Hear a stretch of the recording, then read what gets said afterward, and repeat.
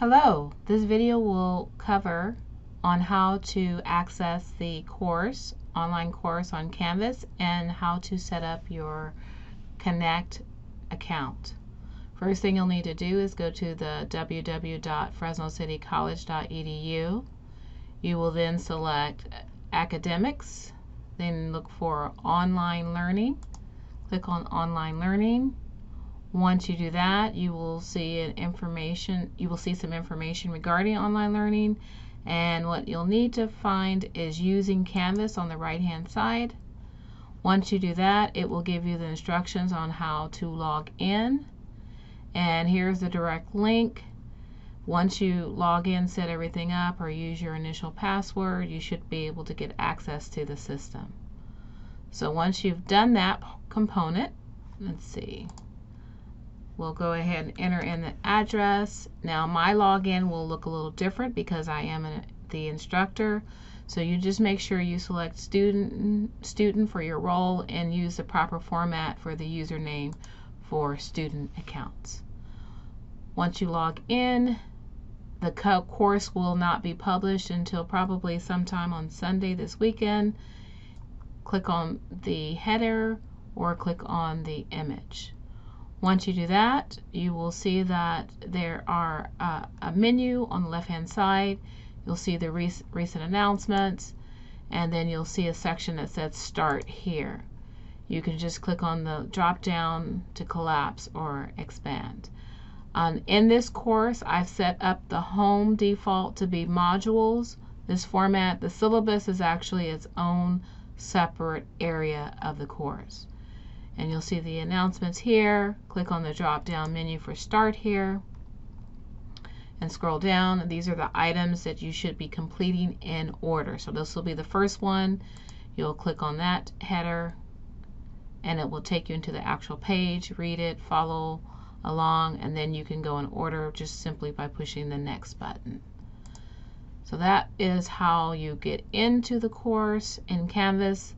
The second piece is how you actually um, set up your Canvas um, Connect account. Now the Connect account is something separate from Canvas. It is basically the resource um, computerized homework management system. So you're going to go down to textbook resources, drop down, and what you'll do is access the textbooks website by McGraw-Hill Connect, clicking on that and it will take you outside of Canvas. Now you'll go to go to my course section and, and connect and this is automatically set up to be linked. So what you'll need to do is use your email account that was issued by the college as preferred. You can use an alternative it's just to be consistent. You can go ahead and use the email assigned by the college.